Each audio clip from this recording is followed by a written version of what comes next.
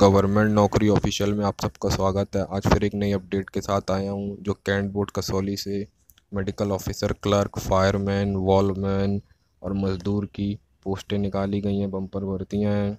आइए इस पोस्ट के बारे में डिटेल में जानते हैं। ये जो पोस्टें हैं, वो office of cantt board Kasauli से निकाली गई हैं। ये ministry of defence, government of India रक्षा मंत्रालय, भारत सरकार। इसकी स्टार्टिंग डेट इसकी स्टार्टिंग डेट मार्च से स्टार्ट हो गई है मई पंद्रह मई तक चलेंगी।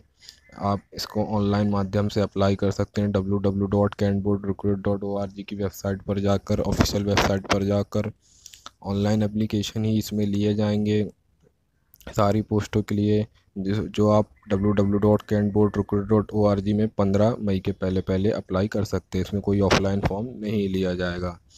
तो आइए हम इस पोस्ट के बारे में जानते हैं सारी पोस्टों के बारे में जानते हैं। इसमें जो पहली पोस्ट निकाली गई है, वो मेडिकल ऑफिसर दूसरी पोस्ट क्लर्क की निकाली गई है, और तीसरी पोस्ट फायरमैन की निकाली गई है, और चौथी पोस्ट बैरियर गार्ड की निकाली गई है, और अगली पोस्ट जो है एक्सरे टेक्नीशियन मज़दूर और वॉल्वमैन की पोस्टें हैं, और इसमें जो पोस्टें हैं, सब ग्रुप डी ग्रुप सी दोनों हैं, और सफ़ाई वाले की निकाली गई है।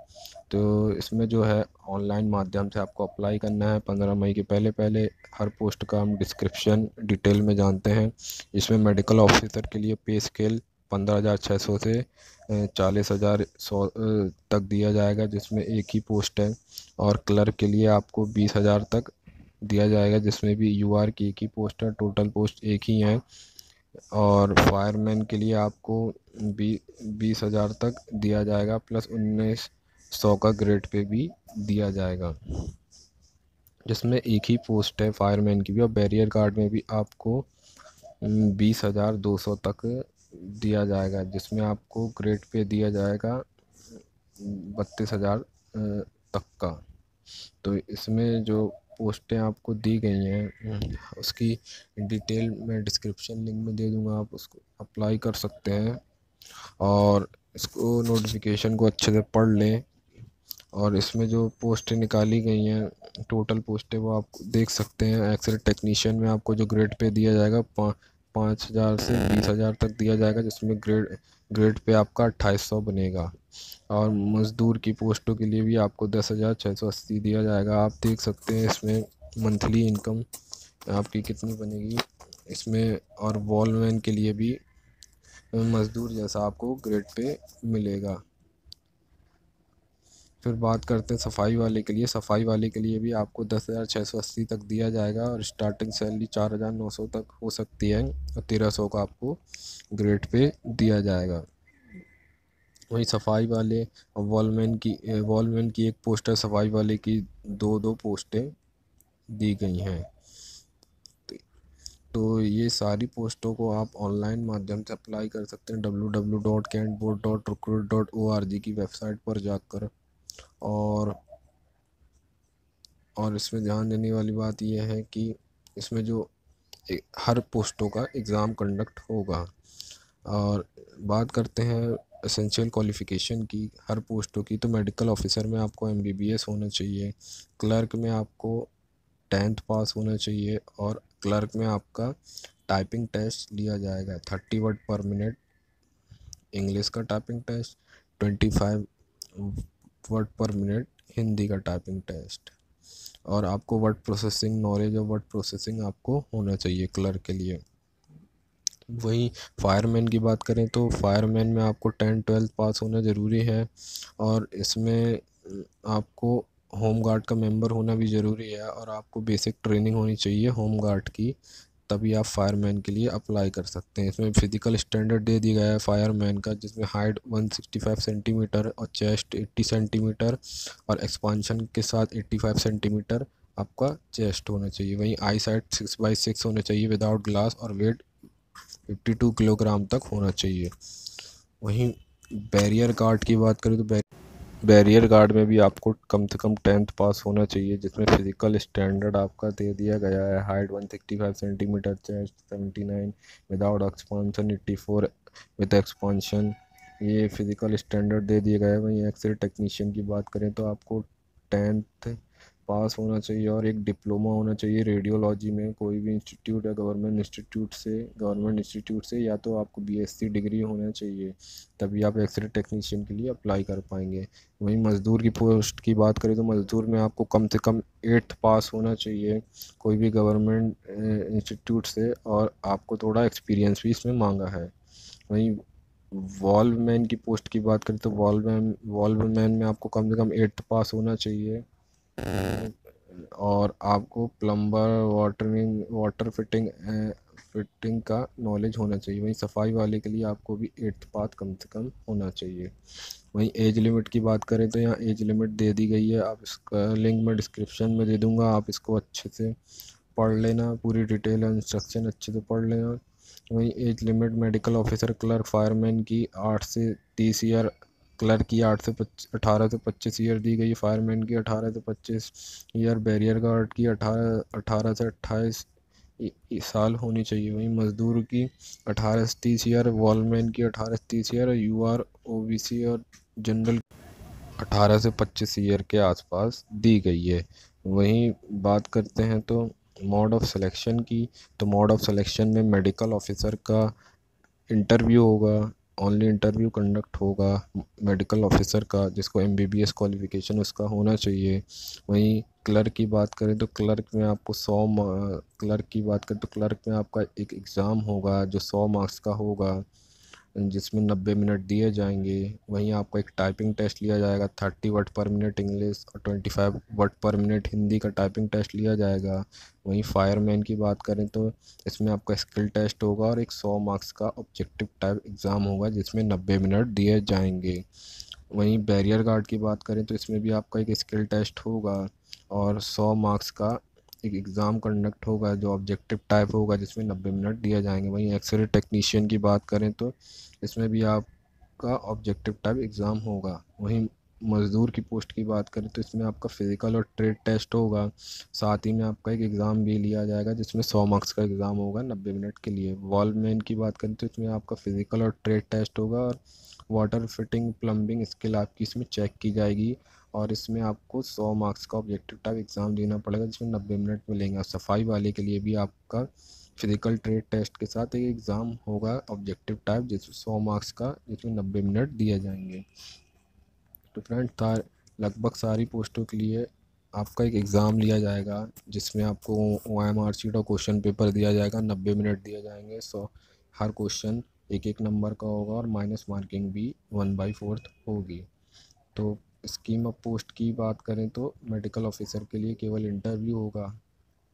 क्लर्क के लिए एग्ज़ाम होना है। तो एग्ज़ाम में जो आपका सिलेबस यहाँ बता दिया गया है कि सौ मार्क्स के जो ऑब्जेक्टिव टाइप आएँगे, वो general intelligence general awareness numerical aptitude English comparison और कंप्यूटर टेस्ट से आएँगे। जैसा कि आप यहाँ दे सकते हैं फायरमैन में भी आपको general intelligence general reasoning numerical aptitude English compression knowledge of fire fighting के सिलेबस से आएँगे। और बैरियर गार्ड में भी आपको general intelligence general awareness numerical aptitude English comparison total hundred marks का ये एग्ज़ाम होगा सबका।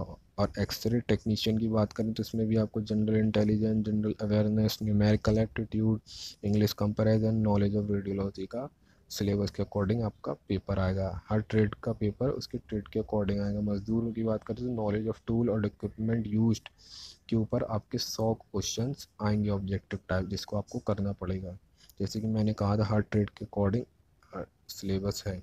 वॉलमैन में भी नॉलेज ऑफ़ वाटर फिटिंग और प्लम्बिंग का के क्वेश्चन आएँगे, सौ क्वेश्चन जिसे आपको नब्बे मिनट में करना पड़ेगा। सफ़ाई वाले में भी नॉलेज ऑफ़ स्वच्छ भारत अभियान के क्वेश्चन आएँगे, सौ क्वेश्चन जिसे आपको नब्बे मिनट के करना पड़ेगा अंदर। साथ ही में यहाँ करंट अफेयर भी आ सकते हैं। तो सारे क्वेश्चनों का मार्क्स इक्वली डिवाइड है सारे क्वेश्चन एक एक नंबर के होंगे और एक मार्क्स के होंगे और इसमें zero point two five negative marking होगी एक गलत करने पर, यानी one by four negative marking होगी। चार क्वेश्चन गलत करने पर एक नंबर कटेंगे। वहीं सिलेबस ऑफ़ एग्जामिनेशन मैंने ऊपर बता दिया गया है कि जनरल इंटेलिजेंस में non verbal verbal reasoning general awareness में history culture geology current affairs भी आएँगे। न्यूमेरिकल एप्टीट्यूड में अर्थमेटिक कंसेप्ट टेंथ बेसिस में न्यूमेरिकल एप्टीट्यूड नंबर सिस्टम ये सब पूछा जाएगा। इंग्लिश कंपैरिजन का भी टेस्ट होगा। ये आप इसको अच्छे से पढ़ लेना, इसका लिंक मैं डिस्क्रिप्शन में दे दूँगा, इसको आप डिटेल से पढ़ लेना। एप्लीकेशन फ़ी की बात करें तो यूआर की एप्लीकेशन फ़ी पाँच सौ है एससी की नील है ओबीसी की पाँच सौ है, और और फीमेल की सौ है, और एक्स सर्विस मैन की पाँच सौ है। वहीं पीएच कैटेगरी की कोई फ़ीस नहीं लगनी है। फ़िज़िकल डिसेबिलिटी की कोई फ़ीस आपको कैंडिडेट को नहीं देनी है। तो अब बात करते हैं मोड ऑफ़ एप्लीकेशन की। तो जैसा कि इन्होंने कहा ऑनलाइन एप्लीकेशन ही लिया जाएगा। इसकी लास्ट डेट पंद्रह मई रखी गई है। पंद्रह मई के पहले पहले आपको अप्लाई करना है और प्रिंट आउट ले लेना है। वहीं एडमिट कार्ड कॉल लेटर आपको main website W W dot cantt board dot O R G की वेबसाइट पर बता दिया जाएगा। तो आप वहाँ, वो वेबसाइट को आप रेगुलर चेक करेंगे तो आपको एडमिट कार्ड का लिंक वहाँ आपको बता दिया जाएगा। मोड ऑफ़ सिलेक्शन की बात करें तो उसमें मेरिट कट ऑफ़ गिरेगी आपके एग्ज़ाम आपके, आपने जो एग्ज़ाम दिया उसके अकॉर्डिंग जो ऑब्जेक्टिव टाइप एग्ज़ाम देंगे आप और इसकी merit cut off cantt board dot O R G recruit dot O R G की वेबसाइट पर अपलोड हो जाएगी। तो आपको एग्ज़ाम के दौरान अपना फ़ोटोग्राफ साथ में लाना है पासपोर्ट साइज़ और एडमिट कार्ड साथ में लाना है रिसेंट फ़ोटोग्राफ एग्ज़ाम के टाइम जब रिटर्न एग्ज़ाम आपका लिया जाएगा। और यहाँ सब एलिजिबिलिटी क्राइटेरिया सब बता दिया गया है, इसको आप अच्छे से पढ़ लेना। हाँ नब्बे मिनट का आपका एग्ज़ाम होगा, सौ क्वेश्चन आएँगे one by four minus marking होगी और ऑल इंडिया से अप्लाई कर सकते हैं। अप्लाई करने का प्रोसीजर मैं बता दूँगा, अगर आपको कोई दिक्कत आती है तो अप्लाई करने की भी एक अलग वीडियो बना दूँगा। ये सारे रूल्स एंड रेगुलेशन दिए गए हैं। आप इसे पढ़ लेना। यहाँ लिखा है दो ईयर या पाँच मंथ छः मंथ के प्रोविज़न पीरियड में आपको रखा जाएगा। फिर उसके बाद आपको परमानेंट कर दिया जाएगा। सारी डिटेल यहाँ डिस्क्रिप्शन में दी जाएँगी। आप इसको अच्छे से पढ़ लेना। इसमें जो document upload document verification online application में जो डॉक्यूमेंट लगेंगे, वो बता दिया गया है। इसमें computer generated application form disability form caste certificate higher secondary marksheet ये सब आप लगेंगे। वहीं आप देख लेना, यहाँ रिजेक्शन का बता दिया गया है कि क्या क्या करने से आपका फॉर्म रिजेक्ट हो सकता है। आप ये सब अच्छे से पढ़ लेना। डिटेल में यहाँ दिया हुआ है। अप्लाई करने का procedure W W dot board recruit dot O R G की वेबसाइट पर जाकर पंद्रह मई के पहले पहले अप्लाई कर सकते हैं। वहीं स्टेप ऑफ़ प्रोसीजर की बात करें तो इम्पोर्टेंट इंस्ट्रक्शन ये सब। डिस्क्रिप्शन में मैं इसकी लिंक दे दूँगा, आप इसको पढ़ लेना। वहीं कैटेगरी यहाँ दे दी गई है U R O B C general इसको भी आप देख लेना। वहीं मेन बात करें कि अप्लाई प्रोसीजर की। तो अप्लाई प्रोसीजर जो है, आपको W W dot cantt board dot O R G की वेबसाइट में पंद्रह मई के पहले पहले जाकर वहाँ न्यू रजिस्ट्रेशन करना पड़ेगा। यहाँ लिखी हुई अप्लाई प्रोसीजर आप इसे दे सकते हैं।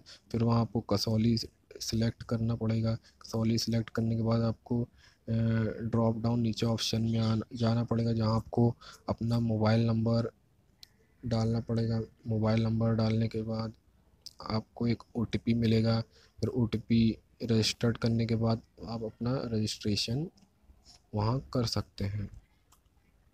वहीं रजिस्ट्रेशन करने के बाद आप अपनी एप्लीकेशन डिटेल भरेंगे, वहीं फ़ोटोग्राफ और सिग्नेचर अपलोड करेंगे और फ़ी पेमेंट करेंगे, यहाँ और आपका फॉर्म वहाँ फिल हो जाएगा। इसकी क्लोजिंग डेट के पहले पहले पंद्रह मई के पहले आपको करना है, वहीं आप फ़ी पे क्रेडिट कार्ड डेबिट कार्ड से कर सकते हैं। और स्कैन इमेज और सिग्नेचर जेपीजी फॉर्मेट में दो, बीस से चालीस के बी की इमेज होना चाहिए और सिग्नेचर वहीं दस से बीस के बी के अंदर का होना चाहिए। ऑफिशियल वेबसाइट दे दी गई है W W dot cantt board dot O R G government नौकरी ऑफिशियल को लाइक करें सब्सक्राइब करें शेयर करें। यहाँ डेली गवर्नमेंट जॉब की अपडेट आपको